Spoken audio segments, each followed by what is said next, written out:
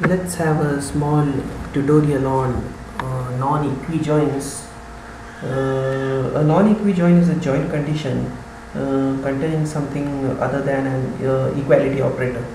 Uh, the relationship uh, between the employees table and the job grades table has an example of a non-equijoin. In this slide you can see there are two relations or two tables, uh, a employees table and a job grades table uh, where we don't have an equality operator as such uh, between the, uh, the two tables and this relationship between these two tables can go ahead with a non-equijoin.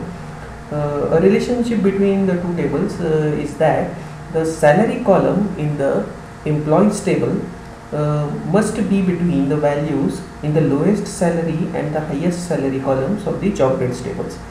Uh, so the relationship is obtained using an operator other than equals to operator. So if we are not going to make use of an equals to operator, uh, here we have to make use of some other operator. So this is not an equijoin, this is an non-equijoin where we are not going to use an is equal to operator. Uh, so the condition which we are going to use is this salary should come in between the lowest salary which is there in the job grades table and the highest salary in the job grades table. So we'll see an example how we are going to do this.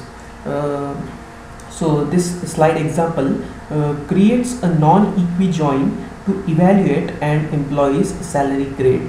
Uh, the salary grade must be between any pairs of the low and high salary ranges.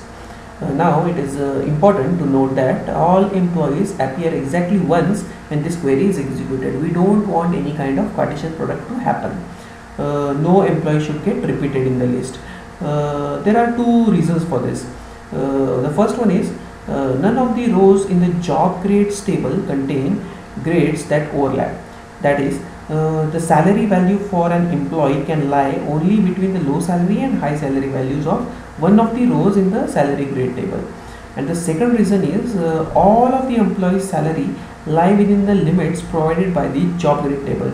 Uh, that is no employee earns less than the lowest value contained in the lowest salary column or more than the highest value contained in the highest salary column.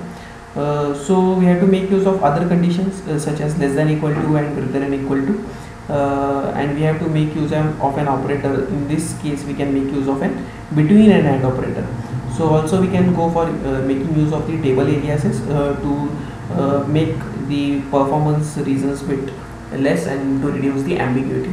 So here we can uh, take the data from the multiple tables. So you can see employees with the table alias of e job grades with the table alias of j and we are firing a join condition uh, which is based on a non-equijoin where now we don't have an equal to operator but we are going to make use of an operator called as greater than equal to and less than equal to and we have replaced that with, by making use of a single between and operator.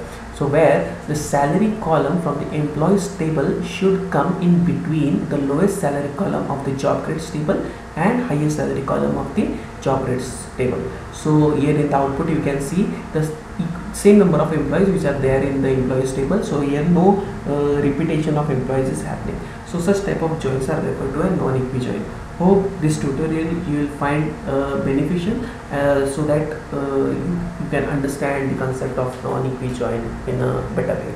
Thank you